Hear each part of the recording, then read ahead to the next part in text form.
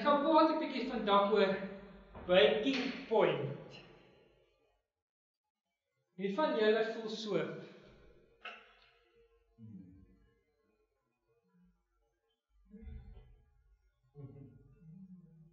Wie van julle?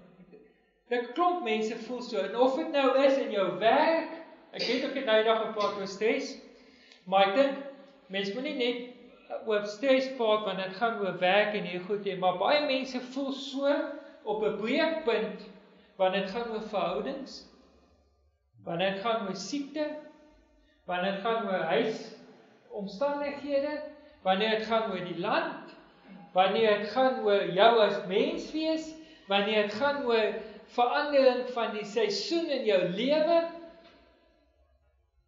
Wie van julle voel of jy is op 'n breekpunt? Kan jy gou sien? Die meeste is, né?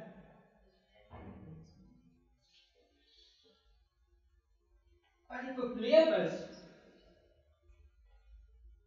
en dit is ons het 'n konsep in ons gedagtes wanneer dit gaan oor wat vir my voel dat ek op 'n breekpunt in my lewe is.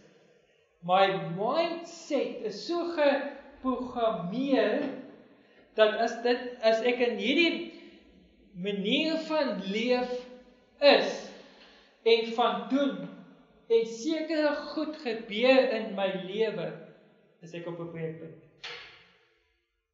Maar dis is die probleem. Daar's baie goed in ons lewe wat ons glo as waarheid. Hoor mooi. Maar wat nie is nie, dit word, word genoem mites. Baie goed in ons lewens wat mites is. Ehm beïnvloed my lewe byvoorbeeld oor kos. Ek is groot gemaak dat as jy jou wortels eet, en is jou oë goed. Dis 'n narratief wat geskep is, hoor nou mooi.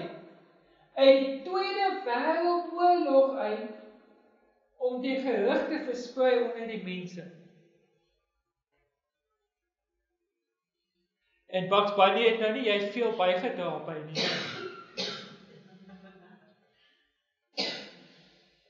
40 ehm um, hulle sê ehm, 'n um, kind sien 40000 advertensies 'n jaar wat sy gedagte wêreld beïnvloed.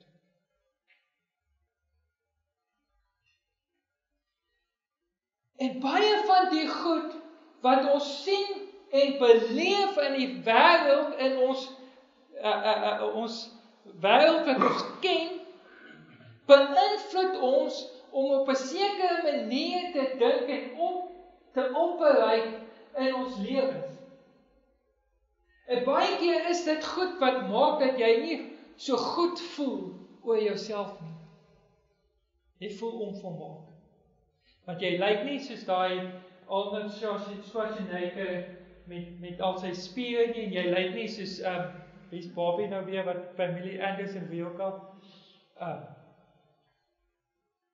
En meeste van daai goed van daai mense wat in advertensies is en so aan is gefotoshoop.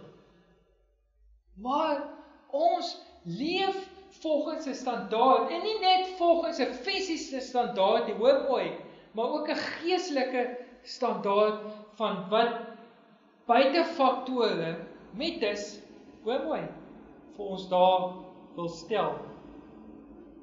En dan kom ons op 'n breekpunt en ons verstaan nie hoekom ek op 'n breekpunt is nie, want selfs in in in omstandighede van my werksituasie of my verhoudingssituasie of my familiesituasie is daar 'n sekere manier in my geprogrammeer wat my beïnvloed om op 'n breekpunt te kom en ons werk ons half frik en siek en ons kom op die einde en ons verloor dit wat ons verstaan nie waarvoor ek gewerk het nie.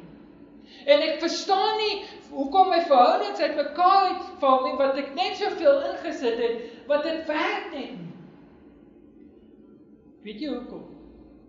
Want dit wat in ons geprogrammeer is in ons brein is 'n verbruikersmentaliteit. En 'n verbruikersmentaliteit is altyd om goed te gebruik of dit nou mense is, verhoudings is of werk is om dit wat ek daarin sit uit te kan kry. Maar die probleem is, wanneer ek ek ek weet baie van julle werk nie meer nie.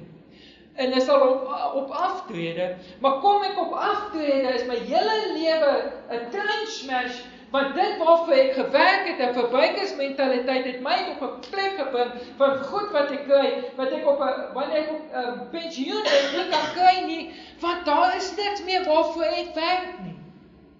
En so het ek al baie gehoor van mense wat op pensioen gaan, selfmoord gepleeg het. En of net by huis gesit het en hartaanvalle gekry het en al hierdie soort van dinge. Omdat dit waarvoor ek gewerk het, dit waar ek op gefokus was was alles 'n illusie wat vir my geskep was in hierdie kenbare wêreld wat nie eintlik 'n reël deel is nie. En dit sluit in verhoudings, werk, familie, my manier van leef. En dan verstaan ek nie hoekom ek so siek en sat in die lewe nie. Ek sit er gister dink ek ek het 'n fliek gekyk, ek weet nie of julle daar um uh pad na my hart of something so was op kyk net gister.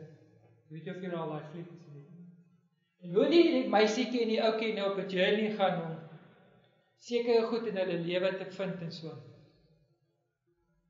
Besef ek hoe baie van ons is op 'n lewensreis.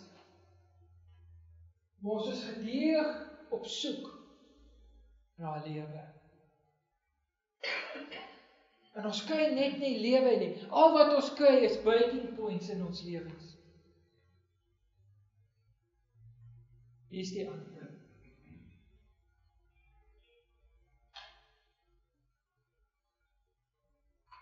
Efesiërs 5 vers 1 sê: As geliefde kinders moet julle navolgers van God wees. Die probleem is ons ons is ge, geleer, ons is geïndoktrineer om ons fokusse op sekere goed te sit in ons lewens. En hierdie fokusse het vervaldatums. Want dit is verbruikersartikels selfs mense. So my verhoudings, my my lewe, my alles wat ek aanpak van waarvolgens ek leef is fake. Nou nooi God ons om te sê, hoorie, jou fokus moenie hierdie goed wees nie. Jou fokus moet God wees. Want wanneer jou fokus God is, laat ek eers my weer terug voordat ons by daai een uitkom. Die probleem van verbruikersmentaliteit maak dat die kerk en kerklewe ook 'n verbruikersmentaliteit het. So wanneer ek dan na God soek in die kerk, is dit fake want die hele kerk setup is 'n verbruikersmentaliteit. Kom ek kom ek verduidelik gou vir julle so. Ons kerk en ander kerke. Kyk ek moet baie mense. Hierdie gemeentetjie met sy hele setup so wat hy is is 'n bab 'n 'n kan julle onthou dat babbies se kafees Dis 'n babbie kafee met vergelyking met ander kerke. Ander kerke is 'n magtige pick-up-by in die winkelsentrum. Wat jy sien, die verbruikersmentaliteit het gemaak dat mense na plekke en geboue toe wil gaan waar hulle gemaklik voel en waar hulle kan gaan sit in 'n gemeente in 'n kerk wat hulle gesteel word om hierdie gevalse fokusse gesteel en aan die lewe te kan hou want hulle verstaan nie van waar waarna toe hulle soek nie. En sodra hulle by 'n babbie kafee kom waar daar nog 'n variasie van baie dinge aan hulle gegee word wat nog die heel deel wil gee, wil hulle dit nie vat nie want die verbruikersmentaliteit is is nie 'n cool plek nie. Dis nie daar waar ek gemaklik kan voel nie. Dis nie daar waar my fokusse wat ek vir myself geskep het gevoed kan word. En so soek ons op verskillende plekke in ons samestelling van lewe God. Maar ons mis eintlik dat God die fokus in ons daaglikse lewenswandel moet wees. Daar by my werk, al gaan dit hoe sleg, wanneer God gefokus word. Paulus kom en hy sê dit eintlik baie mooi. Hy sê hy alles wat jy doen, of dit nou werk is, of dit nou familie is, of dit nou is by die kerk en of is dit nou of dit is dat jy net speel. Alles wat jy doen, laat God verheerlik word in dit wat jy doen. So wanneer ek dan deur 'n siekte gaan, wanneer ek deur dan 'n 'n 'n baie tyd in my lewe gaan, soek God daarin met God se fokus sal altyd daarin wees. Maar jy sien ons wil ons ons word so gekondisioneer om al hierdie bad goed in ons lewens te wil vryspring sodat ons net by die mooi goed kan wees. Want die mooi goed maak dat ek gestreel word en dat ek goed kan voel. Dis is 'n druk. En ons mis die opportunities en die diepte van God se gefokusheid in ons lewens omdat ons al net 'n sekere wy van lewe wil doen. En dan kom ons op die einde van die dag op breaking point en ons verstaan nie hoekom ek wil breek nie. Dat my fokus is verkeerd.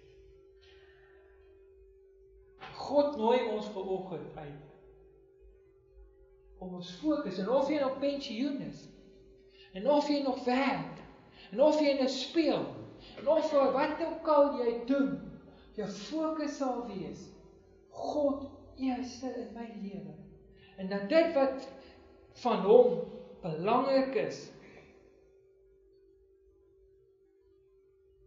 mense dink altyd wanneer ek op God fokus my hele lewe soos 'n siel Jy sien en en, en jy kan maar gaan kyk, baie mense in kerke verloor hulle geluk en hulle geluk, gelukkigheid want hulle dink hulle moet 'n siel lemoen in 'n kerk wees.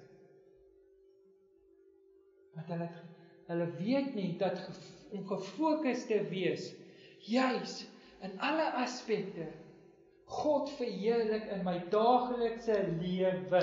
God het nie ons geroep vir die hemel nie. Hoor my mooi. God het op hierdie stadium met God ons nog nie geroep vir die hemel nie. God het ons geroep vir nou om hier te leef want ek en jy leef nou op die aarde. En soos wat ons nou op hierdie aarde leef en asemhaal, moet ons Christus leef. Moet ons Christus wees. En dit beteken maak nie saak wat na my toe kan toe kom nie. Ek kan handle want ek leef Christus. Dit is ook 'n probleem in die kerk. En dit is dat hulle sê as jy 'n Christen is, niks fout sal gaan met jou nie. Dis nie waar nie. Jesus kom en hy sê jy's wanneer jy 'n Christen is en jy genuen op werk met my soek, sal die swaard teen jou wees. Ek het nie gekom sê Jesus vir vrede nie, maar jy's vir die swaard. En dit beteken 'n wêreldse vrede, hoor mooi, maar wanneer jy in Christus is, het jy vrede ten koste, ten spyte van dat daar nie 'n wêreldse vrede rondom jou is nie.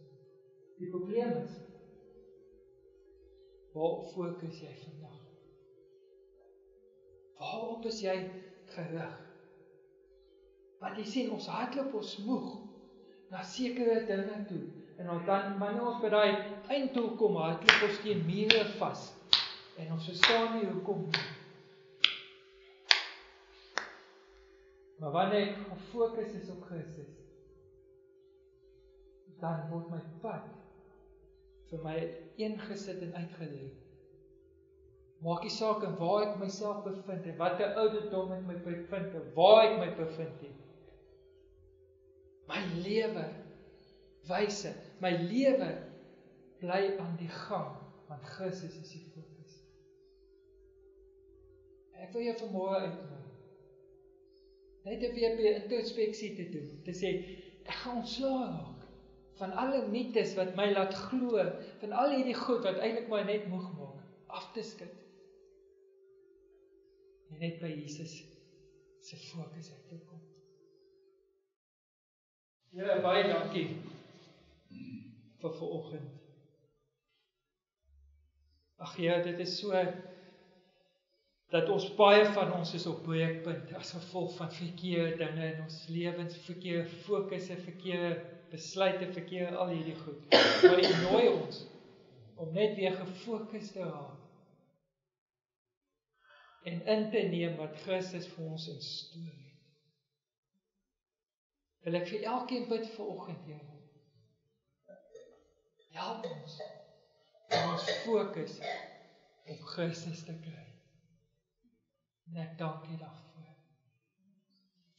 Ja, wil ek ook bid vir mense wat dalk hier sit met stikkende huwelike, stikkende verhoudings, stikkende werksomstandighede, stikkende liggame. Stikkende drome. Dat jy sal kom en vir hulle sal help om my stikkindheid heel te kry met die regte doel voor oë. En ek dank U daarvoor Jesus.